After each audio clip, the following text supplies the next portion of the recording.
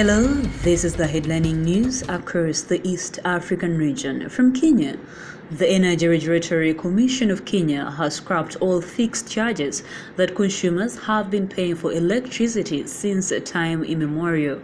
All Kenyan news outlets on Monday spread the good news that consumers will now only pay per unit of electricity used. From Uganda, the Chinese embassy in Kampala has dismissed media reports that Ugandans are harassed by government officials while visiting China. The reports hold instances of Ugandans being denied accommodation in budget hotels in some Chinese towns.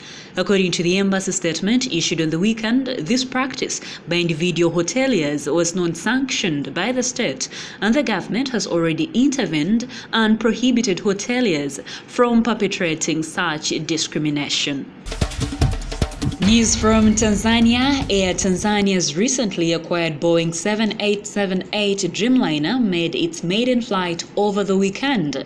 The Dreamliner flew its domestic passengers from Julius Nyerere Airport in Dar es Salaam to Kilimanjaro International Airport in Arusha on Sunday morning.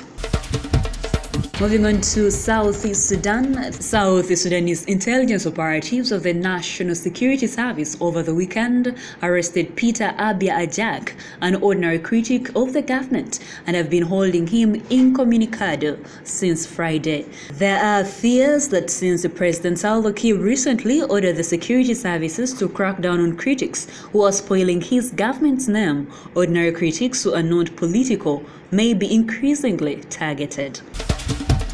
Finally, from Rwanda, over 10,000 households are to be relocated from high-risk zones.